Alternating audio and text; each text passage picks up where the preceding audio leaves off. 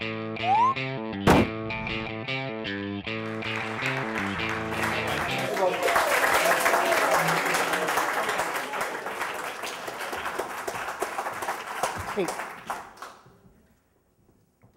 I'm a little shorter too, but anyway.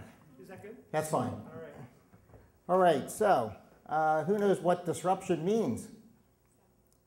It means uh, problems that intervene with life, activities, society, etc. Uh, who knows that there was a movie called Disruption? In 2014, it was made about the climate change march on the UN. Uh, so, my name is Jim Wurster. I'm a proud father of an adult daughter with autism, and our life is disrupted or has been disrupted since our daughter was born. So, um, we are always looking for solutions to these problems that people with disabilities have throughout their lives. Uh, all parents do the same thing that we have been doing. We formed a nonprofit to help work on problems to help uh, our daughter and others like her live fruitful, meaningful lives. So we are continually looking for solutions. Uh, our lives are pretty much disrupted every day, every hour with firefighting issues that arise with our kids, not only while they're in school years, but then much more when they get out of the school system. So we parents are always looking for solutions. We're looking to start social activities and programs for our kids.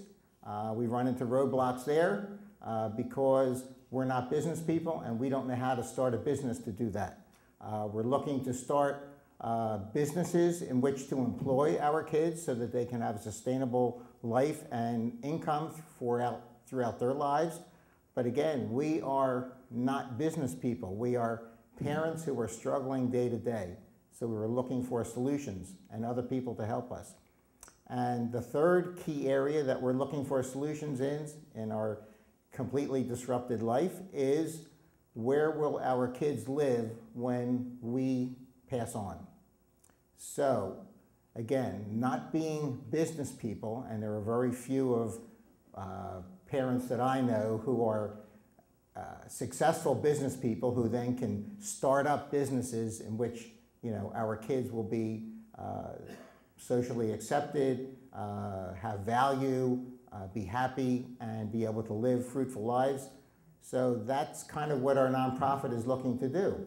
We are looking to start businesses where people will be able to be employed and trained to uh, feel value and feel a part of a society.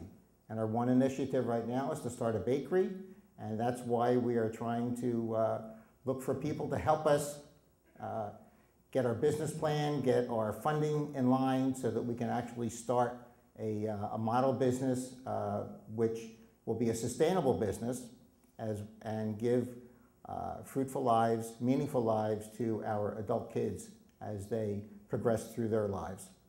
Um, our story doesn't have an end uh, because it will never end uh, until, uh, until they pass on to the next world. So we're always continually looking for solutions. And the one good thing about disruptions is that it gives everyone an opportunity to create a solution. If there were no disruptions, then there would be no creative solutions. And that's what we parents of children with disabilities are trying to do and need as much help from the business world as we possibly can. Thank you very much.